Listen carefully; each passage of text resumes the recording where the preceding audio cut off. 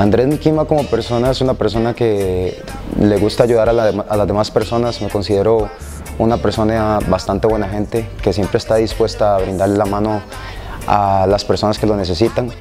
Eh, me gusta aceptar retos, me gusta lo que hago, me gusta enseñarle a la gente y una de las cosas que más me gusta en realidad es practicar el deporte que hago y dar lo mejor por ello. Bueno, mi preparación para esta pelea, eh, al igual que siempre, ha sido bastante dura. Eh, más que todo estaba enfocado en la parte de arriba, eh, con respecto al Muay Thai y al boxeo con mi profesor Humberto Aranda. Sin embargo, no he dejado de lado y he estado trabajando bastante duro en lo que es la parte de piso, jiu-jitsu brasileño con el profesor Alexis Clayton y en lo que es MMA con Luis el Perro Salazar.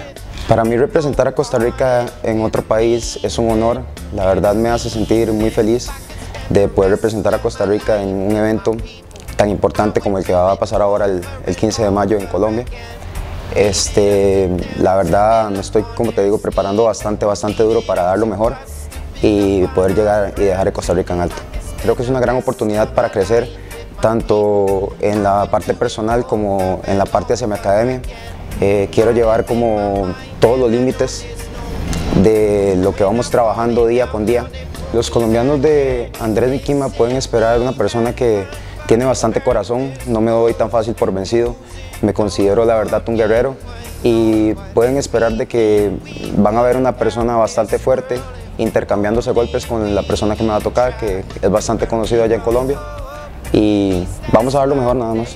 La verdad, tener al público en contra allá en Colombia eh, me puede afectar en cierta parte, sin embargo no lo estoy poniendo mucha mente a, ese tipo de situaciones. Eh, voy a ir a pelear con otra persona que es igual que yo, tiene dos manos, tiene dos piernas y a pesar de que voy a tener a todo el mundo encima, eh, eso me gusta, me hace más bien ir más, más para adelante y demostrarle a la gente de que estoy hecho y demostrar lo contrario a lo que ellos están esperando, que probablemente es mi pérdida pero no va a ser así. De mi contrincante Alejandro Herrera, la verdad no, no estoy muy enterado de, de lo que él hace, sin embargo, este, sé que es una persona que le gusta trabajar de pie, eh, que es mi fuerte también, entonces creo que va a ser una batalla, la verdad, vamos a intercambiarnos golpes ahí y a pesar de esto llevo otros juegos que anteriormente no los tenía, Llevo mi jiu-jitsu con un montón de armas muchísimo más grandes a las que antes tenía y en la parte MMA me estaba entrenando muchísimo más duro.